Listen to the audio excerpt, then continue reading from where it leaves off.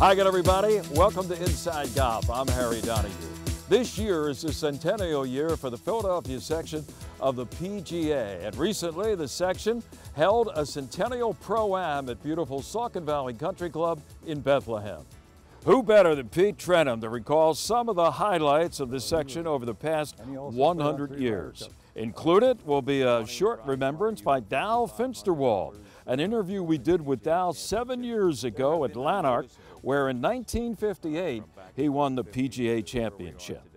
Also, our partners at Valley Forge Tourism, and we'll check in to see what they've been up to this fall. And of course, we'll have our teed off panel. Stay with us. It's all coming up next on Inside Golf. The 24th season of Inside Golf is presented by Destination Montco Golf. 50 courses, over 300,000 yards. Check them out at montcogolf.com. Buy the First Tee Greater Philadelphia, building game changers. The First Tee not only helps young men and women become better golfers, but most important, better people. Get involved. Visit firstteephiladelphia.org. By the Philadelphia Association of Golf Course Superintendents, a community of professionals enhancing the game of golf since 1925. Make sure you thank your golf course superintendent today. By Gap celebrating amateur golf since 1897 by Jersey Man and Philly Man magazine, a digital publication and private business network. Read the current issue free at jerseymanmagazine.com. And by Inside Golf's partner since 1998, the Philadelphia PGA section, the experts in the game and business of golf, and celebrating their centennial year. Take time to thank your local men and women PGA professionals. Golf is the great equalizer. For many, this journey is an escape from reality, a chance to be part of a team, a career opportunity. PGA Reach impacts lives through golf by lifting people up, giving them hope, and sending them down an alternate path that they never saw coming. With PGA Reach Philadelphia, as in life, and in golf, the most important shot you take is the next one.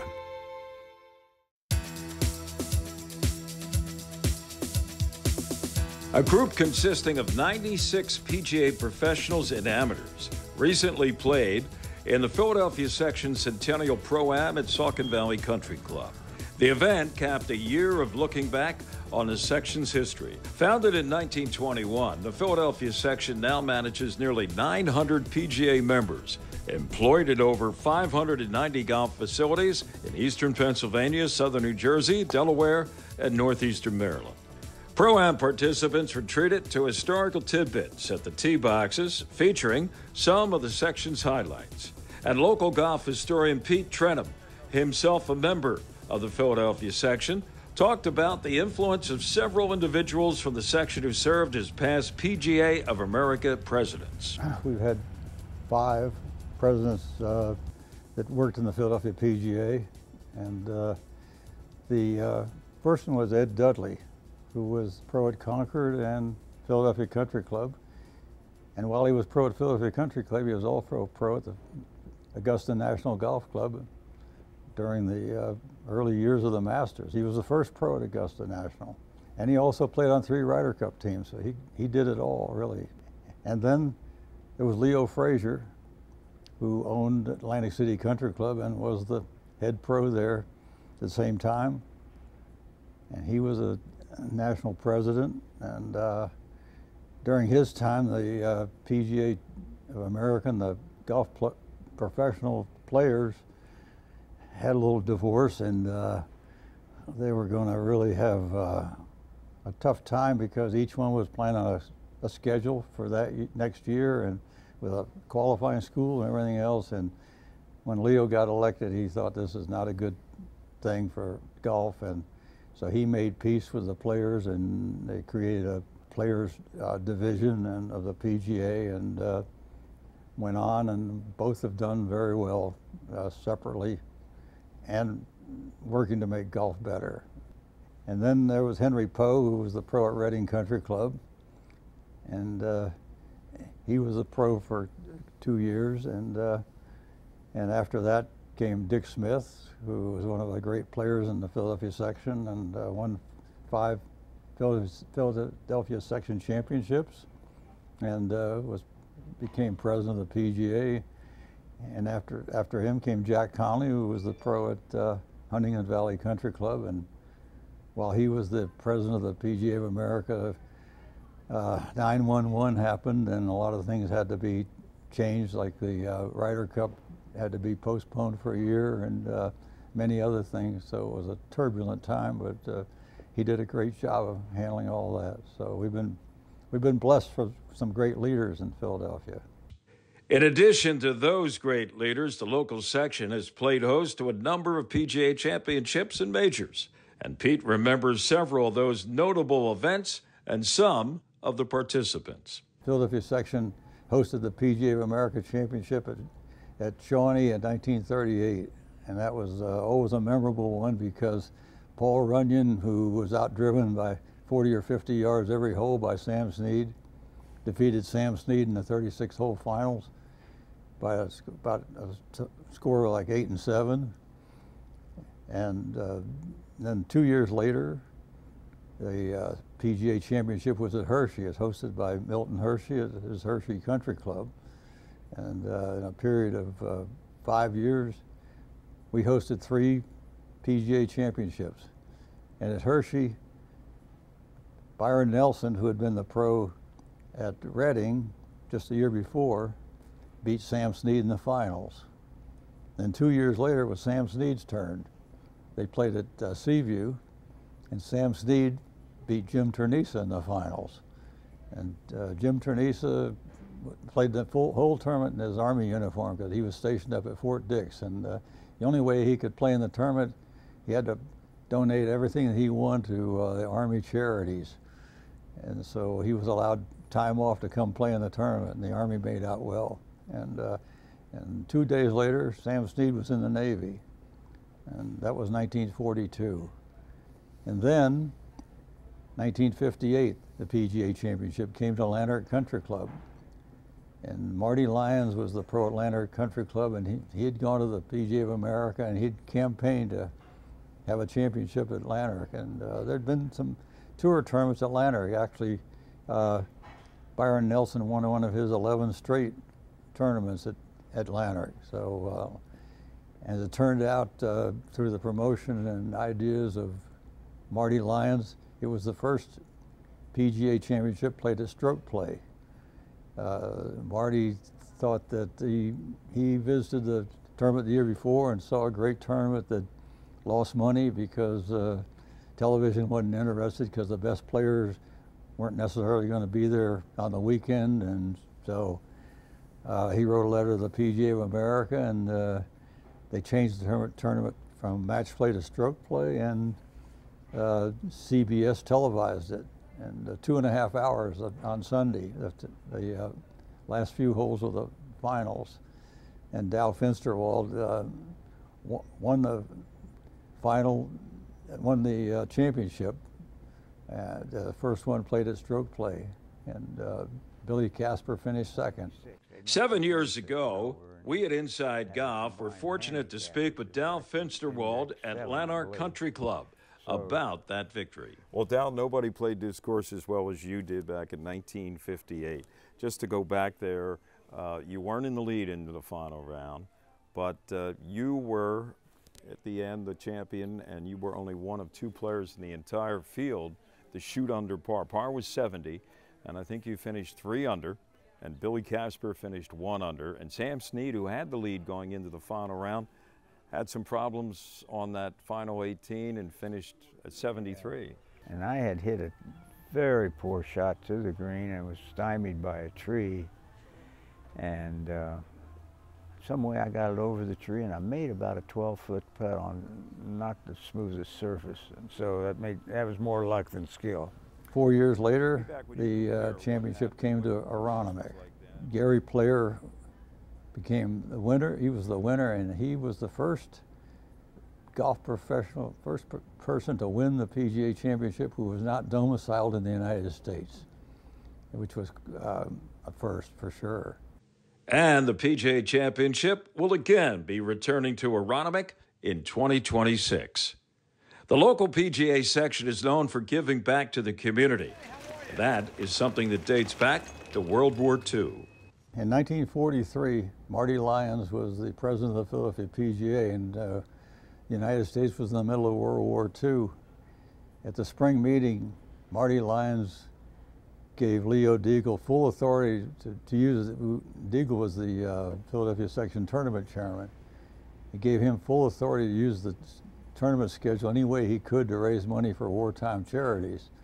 So Leo Diegel came up with an idea that there would uh, be an exhibition played between the, the professionals from the Philadelphia section, the amateurs from the Golf Association of Philadelphia, and the women from the Women's Golf Association of Philadelphia. So Woody Platt captained one team, and Glenna Vare, who won the U.S. Women's Amateur five times, she captained one team, and Leo Diegel captained one team. And each one of them picked 11 players. And so they played in threes with a, a pro and a man, man amateur and a woman amateur in each group. And uh, so the club that hosted the tournament had to pay $500 to host the tournament. And all proceeds went to uh, the, they were, what the idea was they were going to buy an ambulance for the Red Cross. That's what they set out to do. So uh, they played that day and they had a great turnout and you either had to pay a dollar to come to the tournament or you could bring a, a steel shafted golf club for the scrap iron uh, drive. And when the tournament was over, the day was over, people from the Red Cross said, instead of buying an ambulance, why don't you go out to Valley Forge General Hospital and see what you could do there.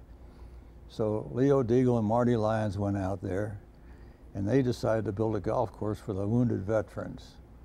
So they built a nine-hole golf course, uh, not too long, you know, holes are like 90 yards to about uh, 225, and uh, for the for the veterans, and uh, and they set up in the gymnasium. So uh, they started giving giving lessons before while the course was being built, and uh, every pro in the Philadelphia section either donated time or money or or equipment to this effort, and they played more exhibitions and uh, raised more money, and uh, they got the course built, and it was a it was a great thing. And before they were done, they built a course at Fort Dix, and they had three putting courses at three uh, of the uh, veterans hospitals.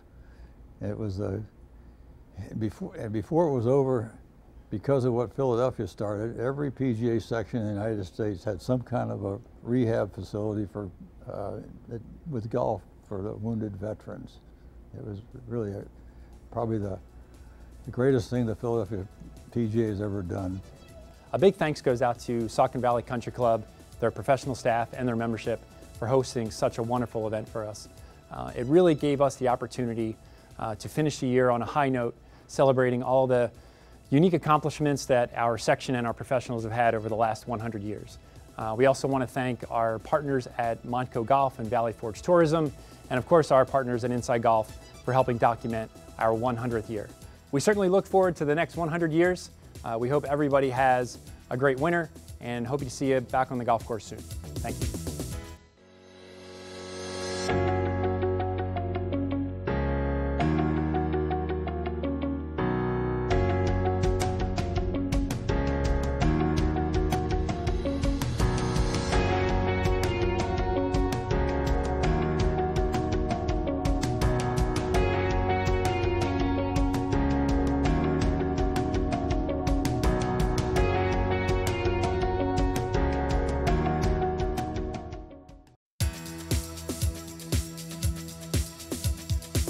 Welcome back to Inside Golf. Recently, our partners at Valley Forge Tourism once again helped to sponsor the annual Rev Run. It was done virtually and it raised $42,000 for Valley Forge National Park.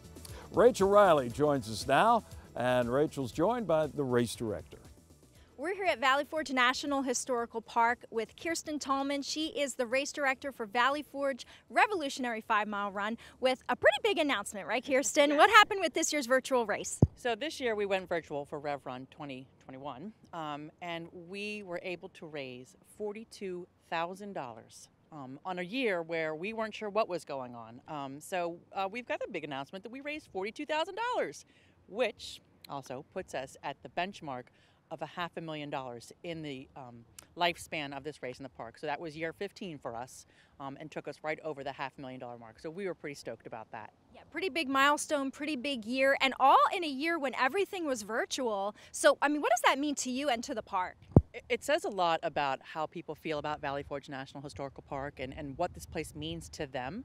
Um, I know for me, when I was running here, like I always wanted to give back and do something, and my gosh, here we are 15 years later, and look with that, I kind of took it to the next level. Um, but for other people that um, came out and found an oasis and a place to recover and, and, and to use a space to um, rejuvenate, um, they found heart in this place, and that's how they gave back. So not only that, you know, we, we had the uh, people that come in and use the park, but because we went virtual, we were able to touch people in four countries and in 25 states. When we think about that, that's half of the United States that participated in Valley Forge National Historical Park's Revolutionary Five Mile Run. That's pretty good. Yeah, it just shows you how passionate people are about this park. Talk a little bit about where some of those funds have gone, will go. Sure, sure. So um, when we have the funds come in from the, the sponsors and the stakeholders and the runners and walkers, the funds go back into the visitor experience in Valley Forge National Park. So that means um, wayfinding um, kiosks are available so they can tell where to go, what trails to use. We've done some trail um, connectors in our years. Uh, coming up will be water bottle filling stations, which is a great thing that doesn't exist too much in this park, but we're going to be doing that. Um, and then there's some interpretive wayside panels, so, you know, so that education piece also comes through. So that the idea is when people come into the park, they can see and experience a whole new thing, um, and that's what we are happy to do. And speaking of experiencing, seeing new things, next year we, have announced the date for next year's race, and what else about next year's race? So next year, uh, well, this well next year is um, April 24th, and we're going to do a hybrid event, which means um, we had so much success with the virtual race that we're going to keep that virtual piece in there, and then also do the in-person race, which people are dying to come back into the park and run with, you know, shoulder to shoulder with their buddies. Um, so we will be doing a hybrid event for um, a week long, which will be um, the uh, National Park Week. So it starts uh, no, uh, April 16th and runs to the 24th, and then on the 24th we will have that in-person race here in the park exciting. Looking forward to that next year. Thanks, Kirsten, and congratulations again on that success. For the Valley Forge Tourism and Convention Board, I'm Rachel Riley. Some very nice contributions, and if you were one of the contributors by participating, thank you, and hope to see you next year in the annual Rev Run. Also, the Valley Forge Tourism and Convention Bureau's Freedom from Hunger Drive has surpassed its food goal of 25,000 pounds and now has a record of over 30,000 pounds. Individuals and businesses donated to this fundraiser, which has now exceeded 75,000 pounds of food to feed the hungry in Montco. The VFTCB is also partnered with the Montco Anti-Hunger Network that works to keep families stable with food assistance, providing food to pantries in the county. The food program has benefited over 84,000 people and increased the number of food pantries in the area from 38 to 47.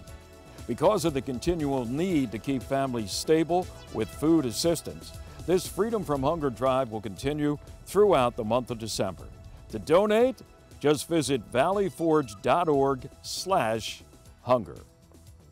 Stay with us. Next to come, our teed off time. Uh, I was not at all surprised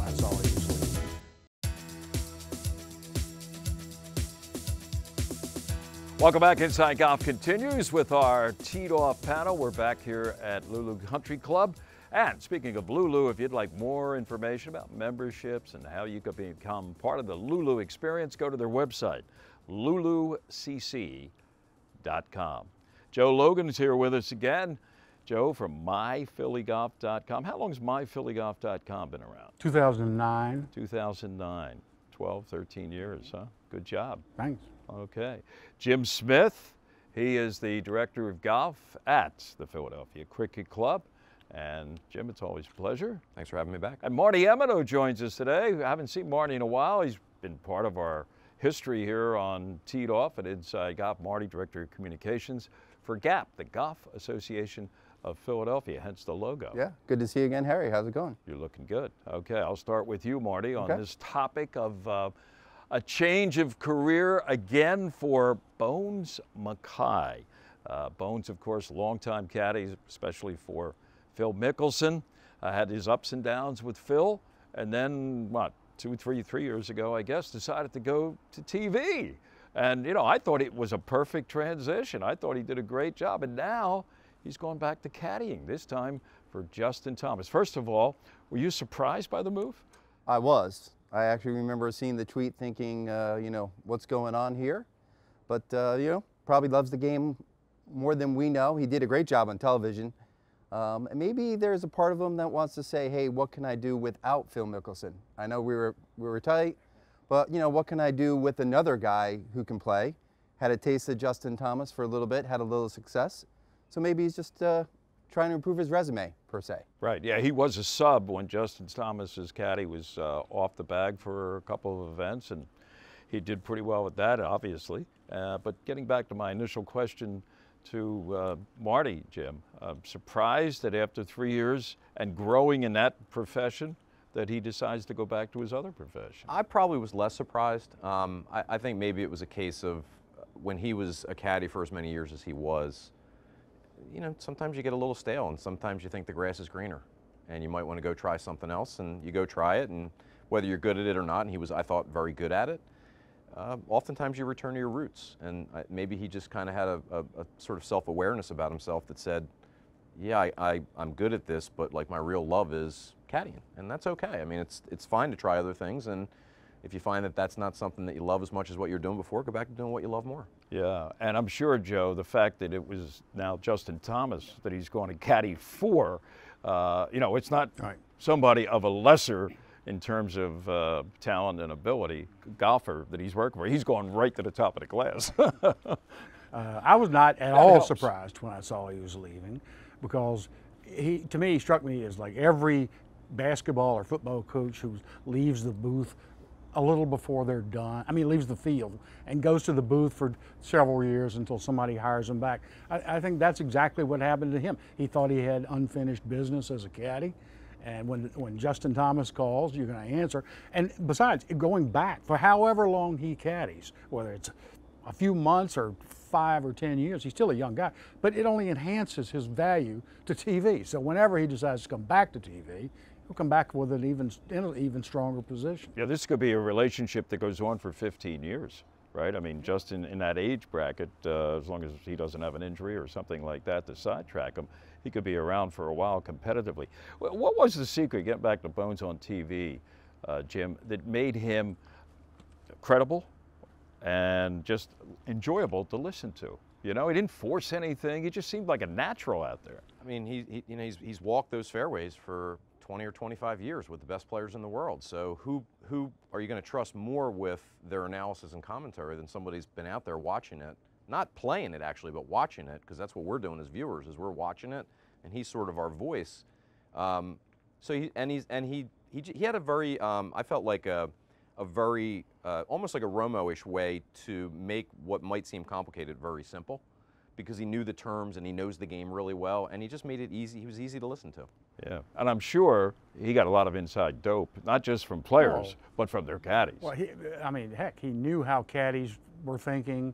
He knew what players were thinking. He's been there, he, and, and he could, like Jim said, express all that in relatively layman's terms, and he did it in a very unobtrusive way. I, I know when I'd watch uh, broadcasts with him on it, sometimes I would be going, "Who is that talking?" And it, and it was Bones. He doesn't have a terribly distinctive voice that stands out like you know some of the others, Feherty, uh, and I'd have to think for a minute, and then I'd realize that's Bones, and he knows what he's talking about. Yeah, yeah, and he was a go-to guy. The networks realized early on, I think. So when he was out there, he was covering the key players that were performing, you know, and that, that's going to be missed. That's not as easy as a lot of people think.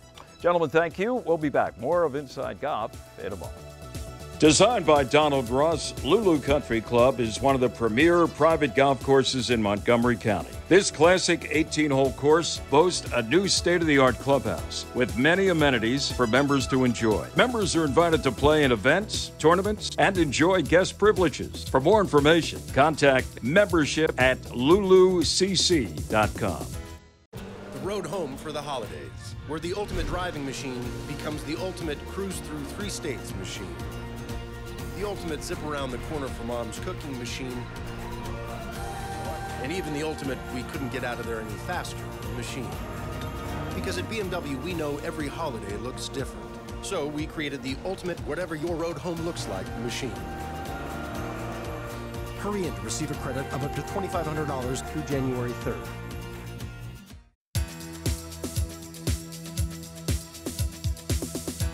Well, that's going to do it for this week's edition of Inside Golf. Next week, we'll be here at Llanerch Country Club in Havertown. The reason? We're going to profile Marty Lyons. Marty started here as a caddy back in the early 1900s. Eventually, he became the club's head professional. But there was a lot more to the Marty Lyons story because in 1958, he convinced the PGA of America to hold its annual PGA championship right here at Llanerch. Marty Lyons, recently inducted into the PGA National Hall of Fame, and we'll profile his life here at Llanerch and beyond next week. I'm Harry Donahue. Remember, no matter how bad it's going for you out there, don't pick up. We'll see you next week from Llanerch here on Inside Golf. The 24th season of Inside Golf is presented by Destination Montco Golf. 50 courses, over 300,000 yards. Check them out at montcogolf.com. Buy the First Tee Greater Philadelphia, building game changers. The First Tee not only helps young men and women become better golfers, but most important, better people. Get involved. Visit firstteephiladelphia.org. By the Philadelphia Association of Golf Course Superintendents, a community of professionals enhancing the game of golf since 1925. Make sure you thank your golf course superintendent today. By Gap, celebrating amateur golf since 1897. By Jersey Man and Philly Man Magazine, a digital publication and private business network. Read the current issue free at jerseymanmagazine.com. And by Inside Golf's partner since 1998, the Philadelphia PGA section, the experts in the game and business of golf and celebrating their centennial year. Take time to thank your local men and women PGA professionals.